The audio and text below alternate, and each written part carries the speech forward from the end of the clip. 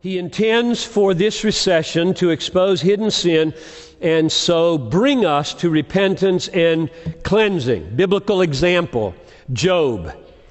The first verse of the book of Job says, There was a man in the land of Uz whose name was Job. That man was blameless and upright, one who feared God and turned away from evil. So, he was a good man. In the last chapter,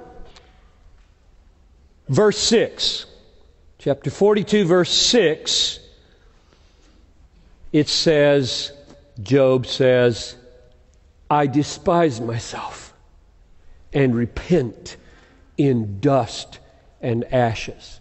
So, what does that mean?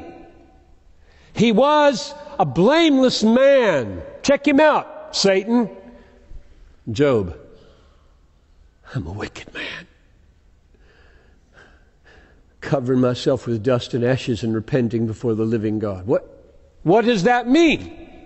It means this the most pure, blameless, holy saint on the planet has a sediment of sin lying quietly at the bottom of his beaker while we look at this clo- clean, clear water called holiness. But you bump him. You just bump him. And it gets cloudy. And Job got bumped big time. And out of his mouth came some things he never should have said because they were there.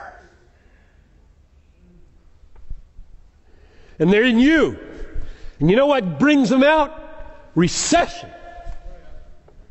That's what brings them out. Me too. That's the way it works. That's the way recessions work. That's what they're for.